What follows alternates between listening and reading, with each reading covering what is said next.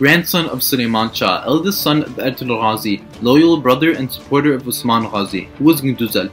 Gündüz Alp was among the early Ghazis of the Ottoman Empire, whom had devoted their lives to the establishment of a great state. Moreover, the feats and exploits of Gündüz Alp proved him to be one of the fiercest warriors of the Ottomans. And so, what has history said about the Ottoman hero, Gündüz Alp?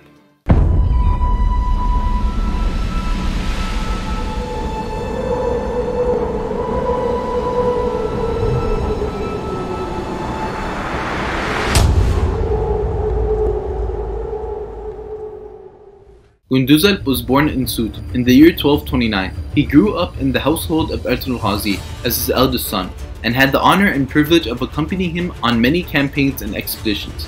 Gündüz proved to be a real branch of support to his father, becoming his close confidant and companion.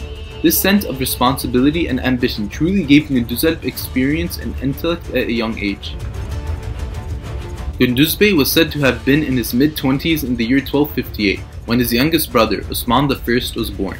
Due to the old age of his parents, Gündüz's brother, Osman, was considered a miracle sent by God. Osman's intelligence, foresight, and valor truly made him a very commendable leader. Moreover, Gündüz's father, Ertugrul Ghazi, had entrusted the responsibilities of the Kayi tribe to Osman, making it clear that Osman was destined to become the Bey of the tribe.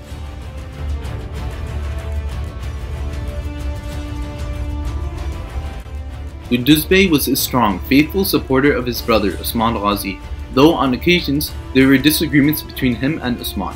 In fact, Gündüz had at first not accepted Osman's position as the Bey of the Kayi tribe. Moreover, Gündüz and Osman had disagreements on how the tribe should be run and how they should react to their neighbors. However, the situation and thought of Gündüz Bey was not entirely similar to that of Dündar Bey's. As opposed to the latter, Osman Bey knew well that Gündüz had respect and obedience for his authority, despite their difference of opinion.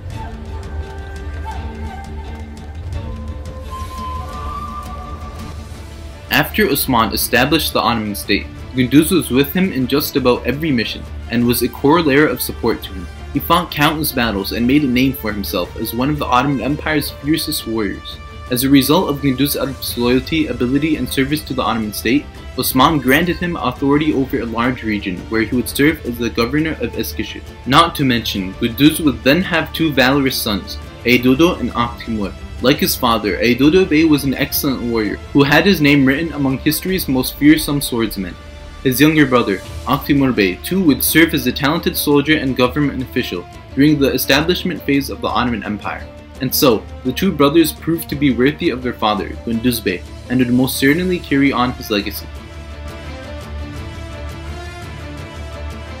In 1303, Gündüz Alp would die the honorable death of a martyr, fighting gallantly in battle, sacrificing his life for his nation. He was buried in Inegöl, Turkey, though an honorary grave was built for him in Söğüt, at Ertugrul Ghazi's mausoleum, along with all the other early Ottoman heroes. And today, Gündüz Alp has proven to be a very highly esteemed and respected historical figure whose legacy will forever remain in the hearts of his people, the soil of his homeland.